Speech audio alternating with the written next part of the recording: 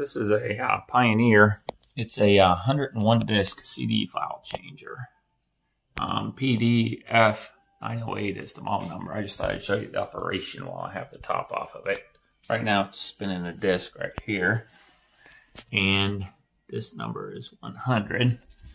We're to go see if we have something I want. Let's that dude out of there.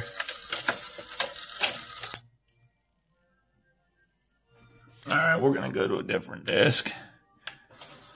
I haven't given it time to figure out where all the discs are at. It would take a while to find 100 discs. I know there's one in 25. Anyway, we're going to open this. Here, let me stop that first, then hit open. It'll come around.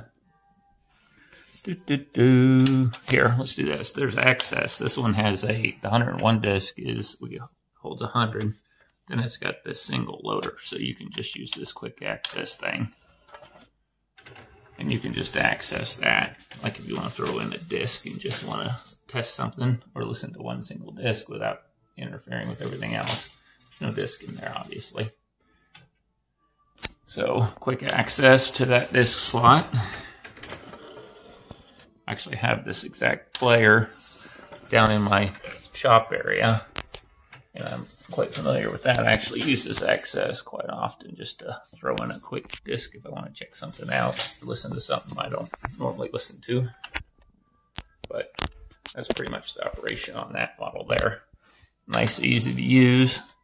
101 disc Pioneer. Pretty slick.